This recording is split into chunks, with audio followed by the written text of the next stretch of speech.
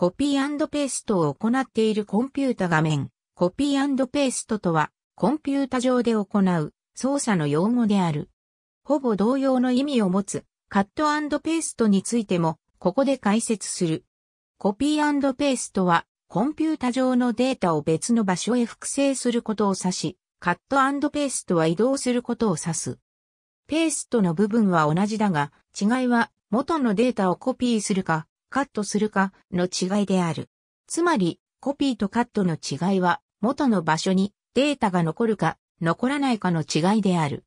利用者が特に意識はしていてもいなくても、どちらも実際にはデータがま、現在のほとんどのグラフィカルユーザーインターフェース、システム上では、コピーしたい範囲を選択した上で、一定の操作を行うことで、クリップボードにデータをコピーや移動することができ、クリップボードにあるデータは一定の操作で他の箇所に貼ることができる。異なる箇所へデータを容易に複製できる操作である。少量のデータ用のバッファを初めて使った人物は EN、ペンティコナーバであり、1973年に米国のコンピュータ科学者ラリー・テスラがそのバッファの呼び名としてクリップボードという名を選び、そのバッファにデータを入れたり、そこから出したりすることをカット、コピー、ペーストと再命名したことでこう呼ばれるようになった。コピーペースト及びカットペーストの方法は、機種もしくはシステムによって多少ばらつきがある。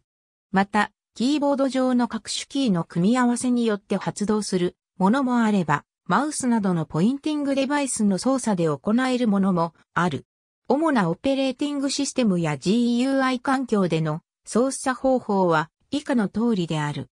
マイクロソフト Windows Windows においては、Windows のバージョンによって異なる。KDE や GNOME の標準的なアプリケーションでは、Windows 3.1以降と同じである。